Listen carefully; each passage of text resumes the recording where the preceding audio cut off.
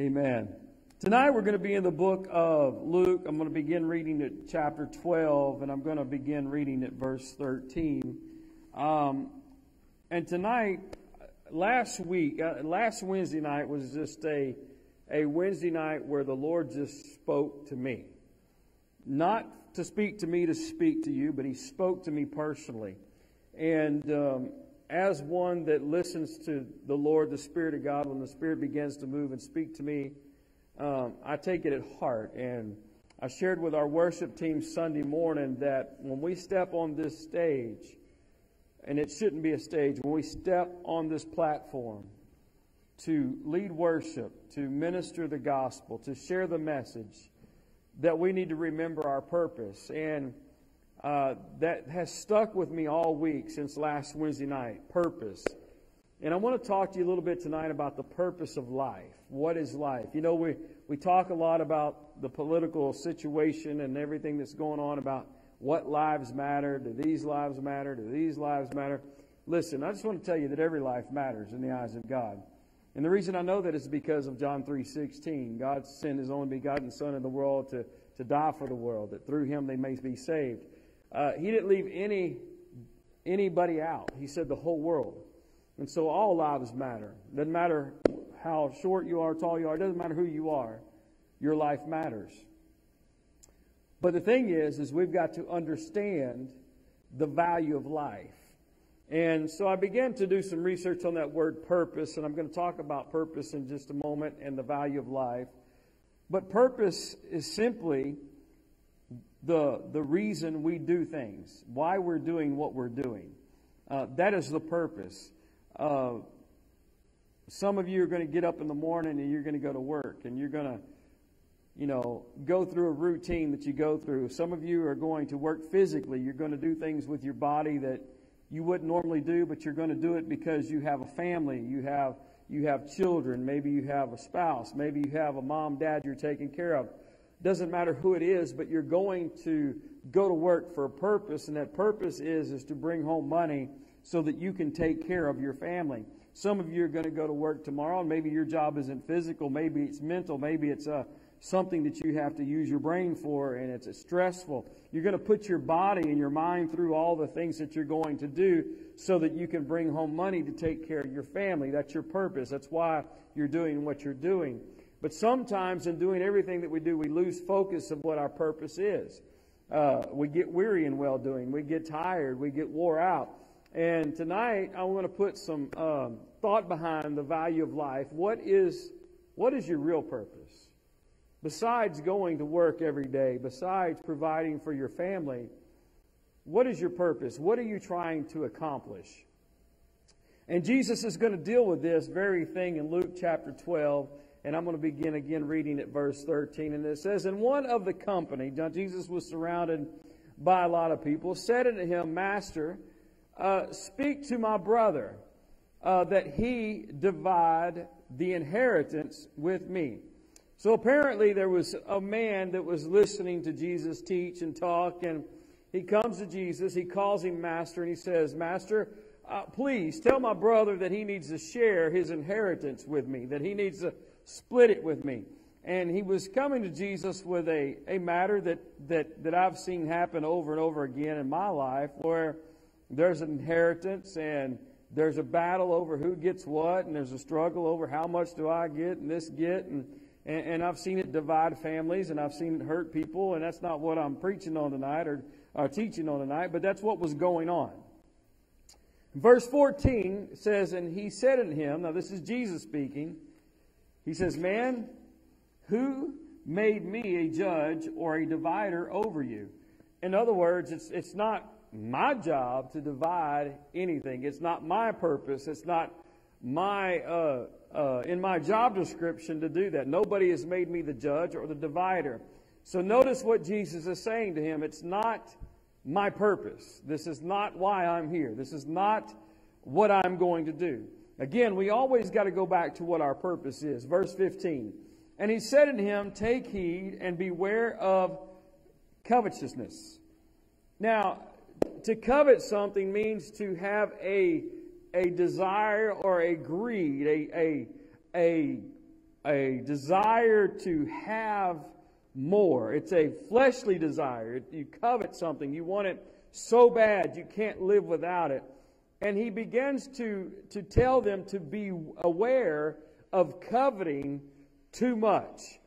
You know, there's a lot of, a lot of people that, that, that, that, that some is never enough. There's never enough of one thing or, or something to fulfill their lust, their, their desire to have so much. And so Jesus gives a warning to, to be aware of this, to make uh, earthly gain or riches our greatest desire in life. And he even warns us really that this is a fatal mistake when we seek uh, riches, when we use our life, the, the, the moments that we have. The Bible talks about life, how fragile life is and how short life is. It tells us that life is like a vapor. It's here one moment and it's gone. We can go to the cemeteries today and, and drive out there and you can walk by all the headstones and see that life is fragile. There's some people that have little life. There's people that have long life, but life is fragile. And I promise you, the older I get, the more I realize that the time we have is to be cherished and we should do all that we can to make our life count, to have a purpose beyond just getting things. Someone could say amen to that. And so we find here that he says, Beware of this. For a man's life, and I want you to underline this if you got a Bible, consists not in the abundance of the things which he possesses. Now, that is opposite of everything that we learn in the United States of America because our country is built on capitalism. It's built on working hard and getting more and getting more. And we're taught to, to, to, to, to put up, we're taught to store, we're taught to, to plan for the future, we're taught to get, get, get, get. And all of us at times we're guilty of that. We, we focus so much on the getting that we forget that that's not really the measure of a man's life or a woman's life. It's not what it really consists of. It's something different than that. And, and I'm going to get to that in just a moment. But we find here that a lot of people are caught up with greed. And if you go and you study the Greek word for greed is pleonexia, which really means the thirst for having more. So greed is the thirst for having more. How many of you can sit there tonight and watching this say you have enough? I know as far as my wife and I, I can say if I don't ever possess anything else, I have more than enough. God has blessed me with more than enough.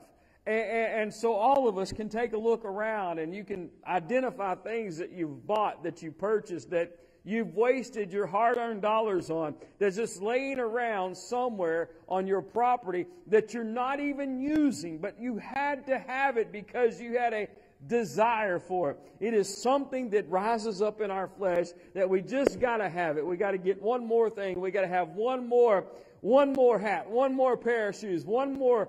I don't wear dresses, but dress. We got to have one more fishing lure. We got to have one more whatever it is. It seems like it's never enough. We're always collecting. And how many of us go around and we brag about what we have?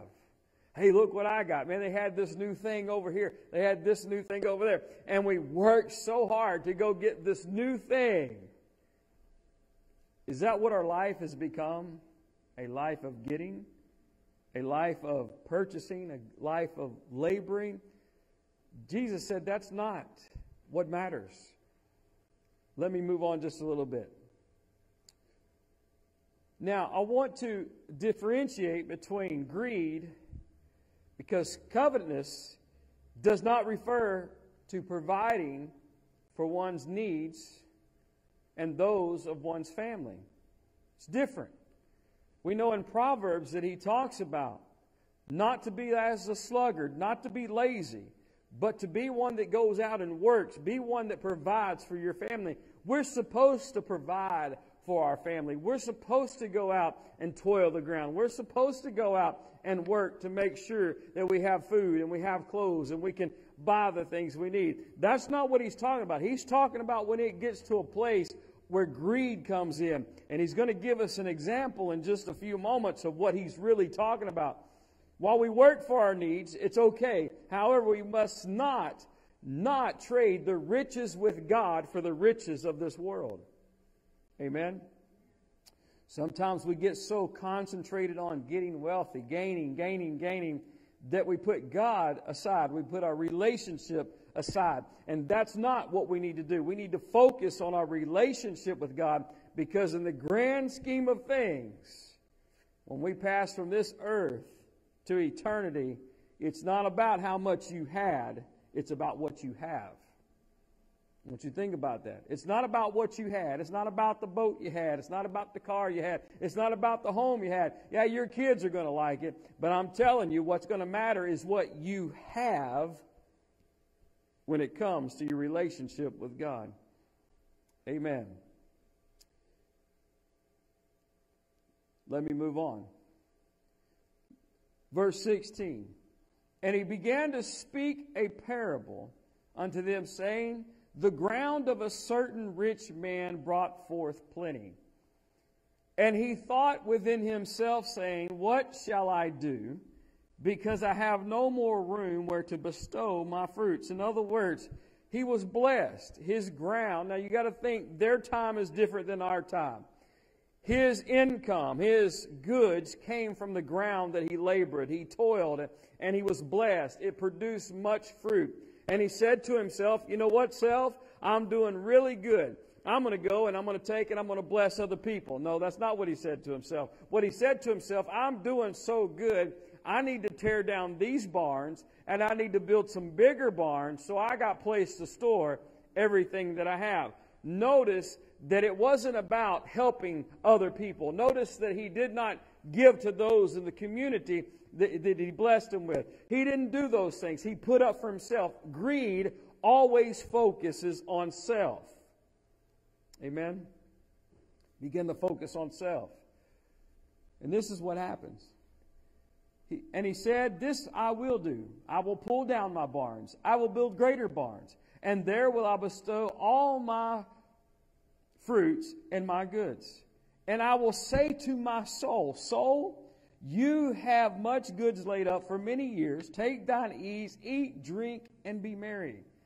So he was thinking to himself, this is what I'm going to do. I, have got a plan. I'm going to put all this stuff away. I'm going to put it in these barns, and then I'm going to take it easy, and I'm just going to retire. Kind of, sort of. Verse 20 says, But God said in him, You fool. Now I want to pause for just a second in today's society, and I, am I'm, I'm focusing on what if I retire? I'm putting things up. I'm trying to do those things.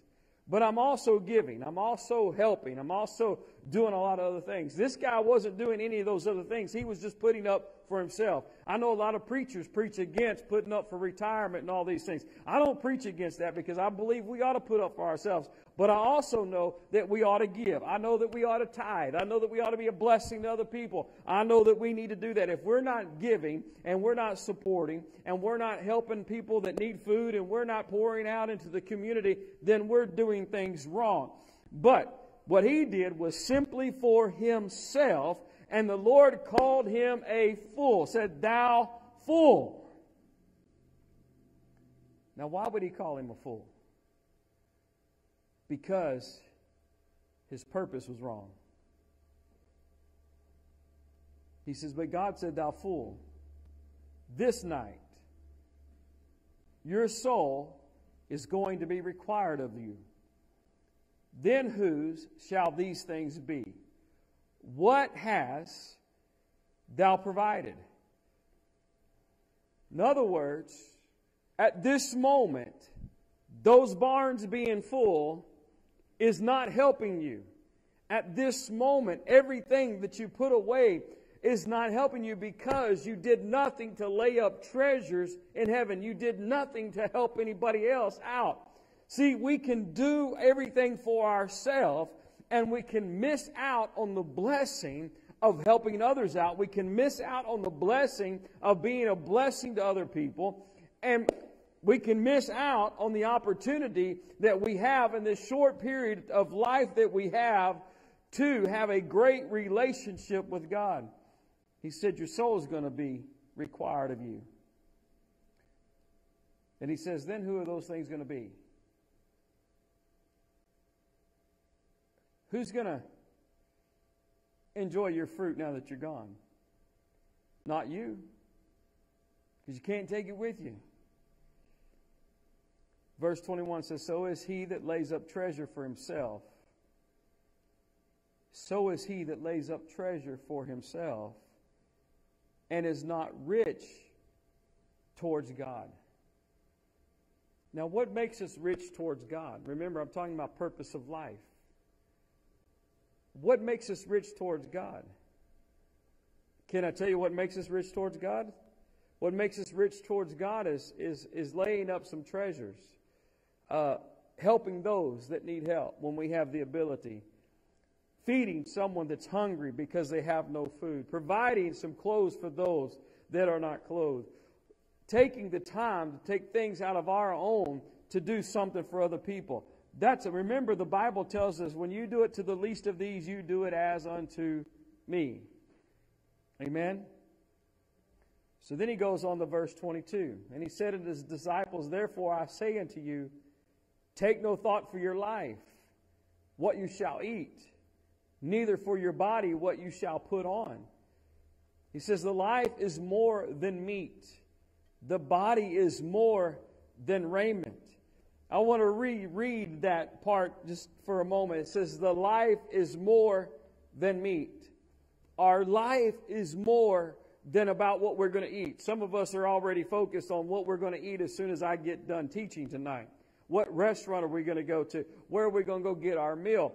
that seems to be the focus a lot of times of our purpose. And our purpose isn't just to focus on that. Our purpose is to focus on the calling that God has placed in our life. Our, our purpose, our focus should be the purpose on reaching the lost for Christ. The purpose should be telling the gospel of Christ. The purpose is about doing more. But the thing is, is we get so focused on our body and on ourselves at, at times that we forget the purpose of why we're doing what we're doing.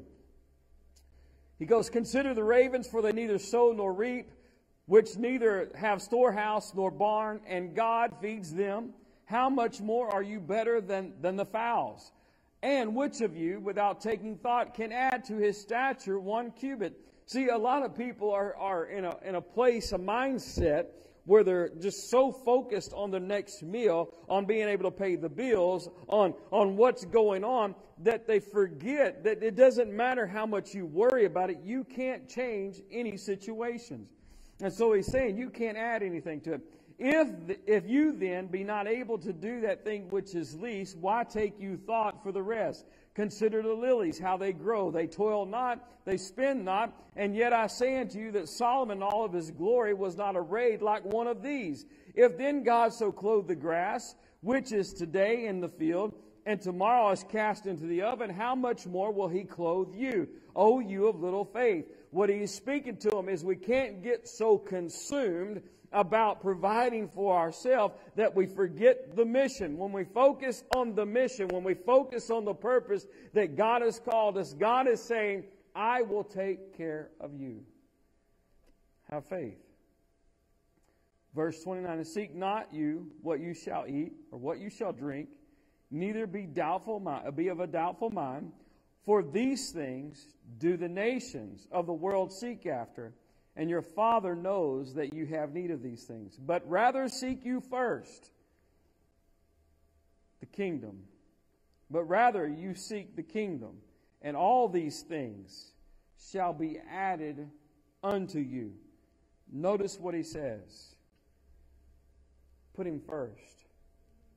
So many times, the purpose of our life gets lost because we put other things before God. Well, and I'll use tithing for an example because no one likes to talk about it. But sometimes we put everything else before our tithing. When you put your tithing first, God begins to bless you.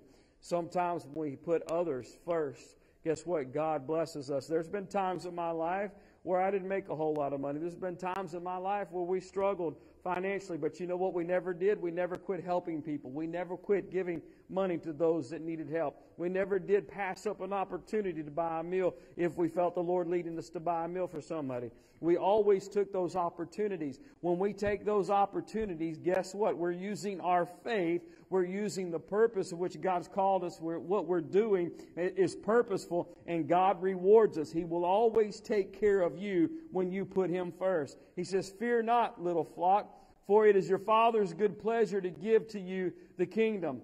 Sell that you have and give alms. Provide yourselves bags and that which wax not old, a treasure in heaven that faileth not, where no thief approacheth, neither moth corrupt. For where your treasure is, come on, most of you know this. For where your treasure is, there will your heart be also. You say, Pastor, what do you mean by that? Well, that's not my words, it's the, it's the Word of God. And basically, what the Lord is saying, what Jesus was teaching, is simply this wherever your heart is, you'll find your purpose. Now, the question is, is what's your purpose? What's the purpose of your life? Is the purpose of your life to work and pursue riches to the point you neglect your spiritual life? Is your purpose to just gain, gain, gain for yourself? Or is your purpose to fulfill the will of God in your life, to feel your call, to feel that purpose that God has planned for your life? If it is, then you need to put your heart there. You need to put your heart there. Because where your treasure is, there's your heart. My wife and I, we've been cleaning up around the house, and I'm just like anybody else. I'm spirit and flesh. My flesh sometimes says, you know what, it's time to do for you. And then my spirit says, remember your purpose. And we was going through some old boxes and found pictures of youth camps that we did. Seen pictures of some of you that are in this very room that are here tonight when you were kids. Some of you at expos and some of you at camps and different things. And you go back and find letters that, that teenagers wrote us years ago when we first started in youth ministry. Those are treasures. And when you start opening those treasures and you look at those things, man, your heart just skips a beat. Just joy comes into your life and it's reminding you of the purpose. What I'm saying to you tonight is simply this is remember that your life has value, but you have to find the value. Your life has purpose, but you have to find the purpose. God has a plan for every life. God has a call for every life. God has something that each one of us can do. Not everyone will stand behind a pulpit and preach the gospel, but everybody has the opportunity to spread the gospel. Everybody has an opportunity to be the gospel, but we've got to purpose that. It's got to become the treasure of our heart. So, my question is tonight, or my statement tonight is simply this. Maybe you're at home and you feel like you have no purpose. Maybe you feel like you're just spinning your wheels. Maybe you're just going through the motions. Get up, go to work, provide a check. Get up, go to work, provide a check. Go through the same routine over and over again. Can I challenge you to do something different? Find a place to labor for the Lord. The next time you see a mom at the store with a child, she may be a single mom, buy her groceries Say, well, Pastor, that's me spending money out of my pocket. You probably got enough in your cupboard to last you for a while. I know we do. Next time you're out in the community and you see something going on, stop, help. Maybe you need to find a place like we have here at our church where you can go and serve the homeless shelter, different things like that. There's always an opportunity. Go volunteer at a food pantry. Get out in the community and do something. Find a purpose and I promise you this when you find your purpose and you put your heart behind it, God is going to bless you. You're going to wake up in the morning and you're going to go to work with a different beat to your heart. You're going to go to work with a, a different passion. You're going to go to work with a different joy. It makes a difference. If all I had to live for was going to work, providing a check, going to work, providing a check, going to work, and laying up for myself, to me, that would get old. I love having a purpose. I love having a drive to do something for other people. Lay up treasures in heaven. Hope this has helped you tonight. Hope this has ministered to you tonight. We're going to have the worship team come back at this time. Uh, Brother James is going to come, and we're going to we're going to have him uh, tell the prayer request, and we're going to pray tonight. Or you want to just give them to me?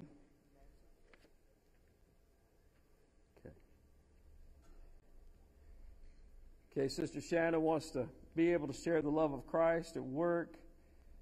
Um, there's been an explosion at the Lone Star plant in Mont Belvieu. Uh, I think it says they're pray that they're all okay. Okay, we'll definitely be praying for that. I know that we have some that are, are still sick in body, not from the COVID, but still sick with other things, other ailments. We're going to pray for them tonight.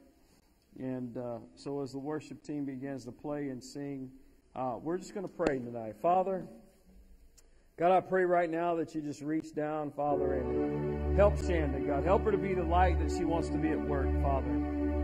God, not only at work, but everywhere she goes. Father, help her to be that light, that example, Father. God, sometimes we can preach a great message without ever saying a word. God, it's our actions, it's the things that we do, Father. And God, I pray that you would just help her, Lord, in that, God, that you would give her the strength she needs, give her the wisdom she needs, give her the direction she needs, God. And God, give her the peace, knowing, Father, that she's stepping into this, doing exactly what you want her to do, Father. God, I pray for those right now at this plant, God, that you just reach down. I pray, Father, that everyone is okay. I pray, God, that you would just. Uh, to surround that place, God, that you would help the fire be extinguished, God. I pray, God, they find no casualties, God, and I pray, Father, they find no injuries, Lord.